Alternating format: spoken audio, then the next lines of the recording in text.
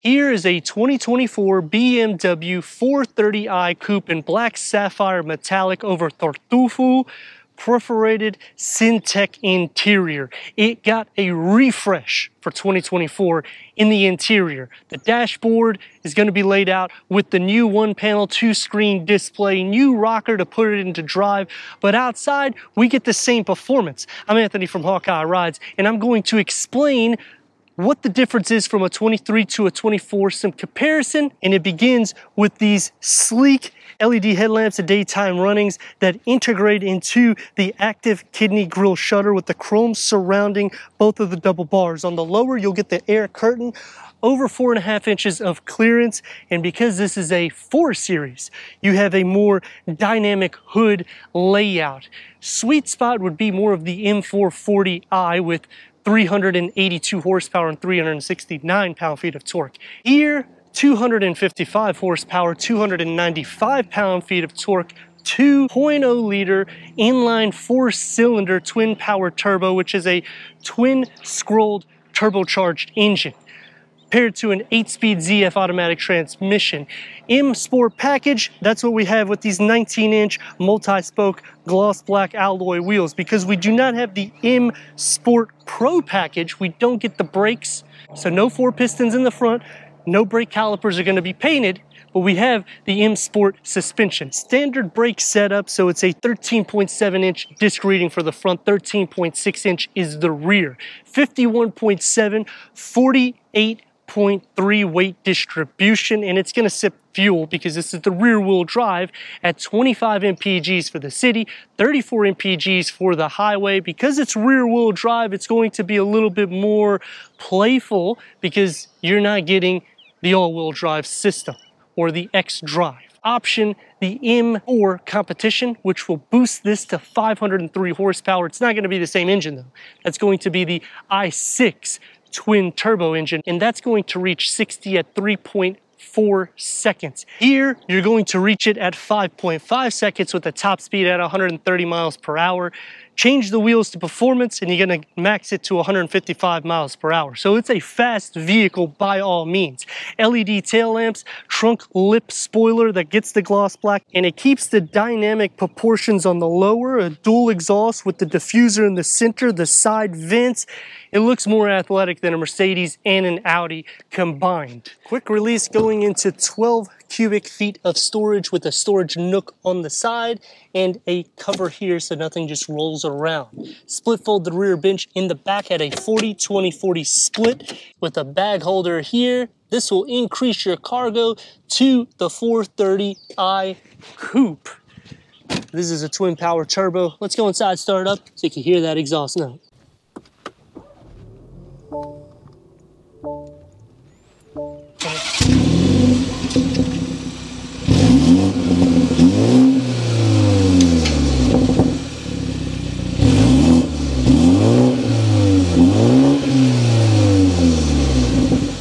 Refresh 430i coupe starts off with this one screen panel.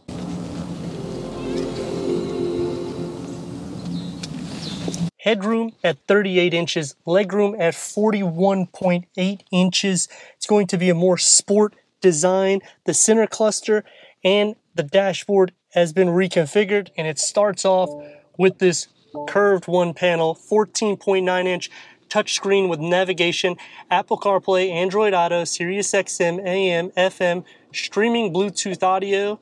Slide it over for your quick wedges. Click onto these four dots. 5G capabilities. Put it into reverse with the reverse camera, full trajectory, the front and rear parking sensors. Going into the Tetracon dashboard layout, rework air vents, and inside a wireless charging pad, USB, and a 12 volt.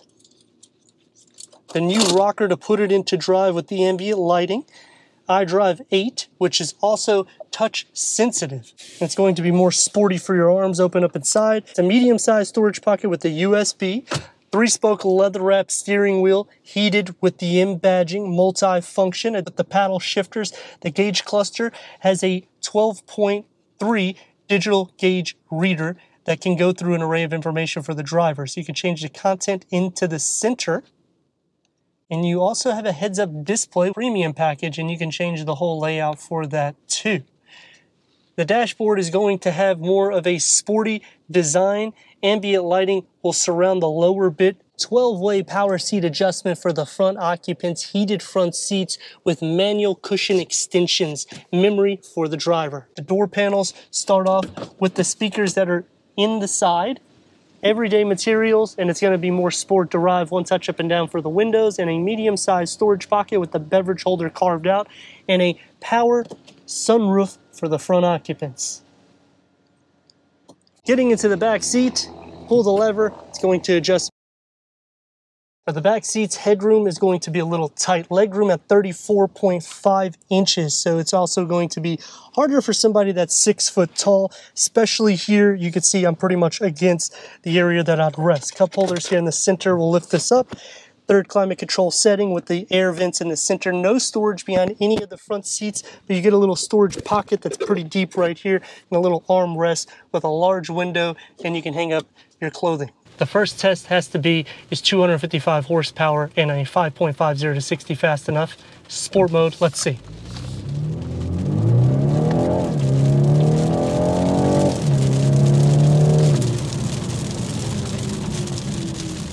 And even though we don't have M Sport brakes, they still do a good job braking. Near 50-50 weight distribution, rear wheel drive so you can have some fun. Holds itself very good. On the out,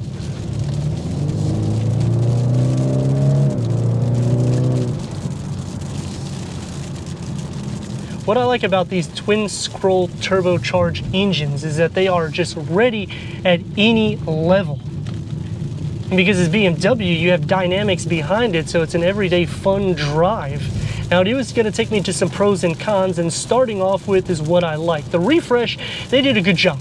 I mean, the screen integrated well into the dash. I don't like the heads-up display hole because it almost looks like a pothole that's on the road, but inside the interior.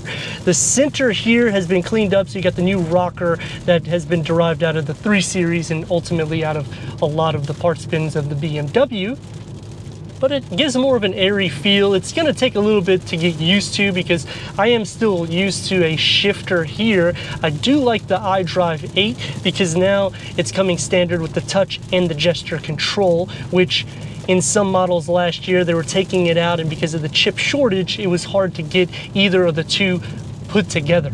It doesn't feel like it sits too low to the ground, which is a good thing. They didn't change anything for the dynamics. It's the same weight, same weight distribution, same power.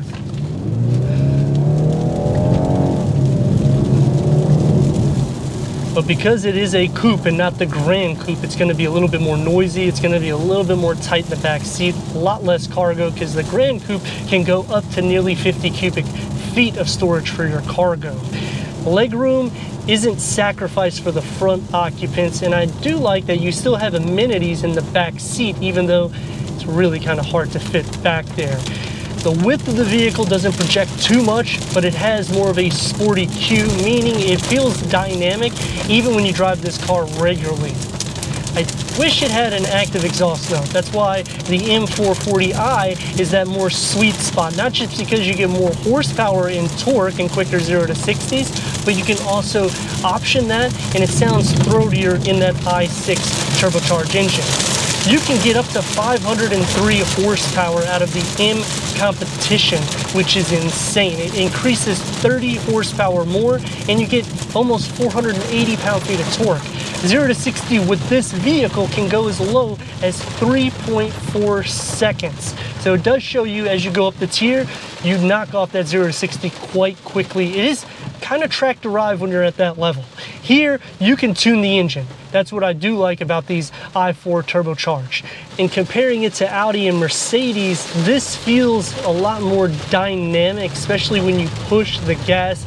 It has a little bit more of a pep feel to it, pushing you back, and it's not even 300 pound-feet of torque. The steering has a little bit of weight to it because it is a little bit lower, And I like that about BMW because it's not all artificial. When you go to Mercedes and Audi, it starts getting a lot more light, but then you're losing the feel in the drive. The seats are going to be a little bit more sporty in this compared to the Benz.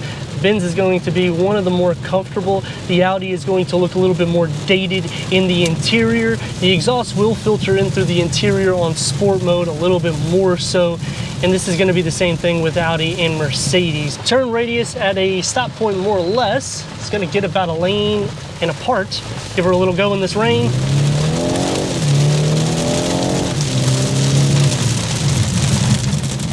And even with these rain conditions, it stays planted. That's why I wanted to really show you and emphasize the power from that little quick U-turn because it really does change the ball game when you're looking for a everyday drive vehicle and fun packed in one.